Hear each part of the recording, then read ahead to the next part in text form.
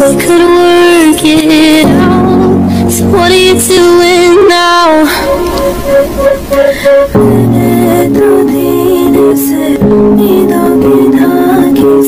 now?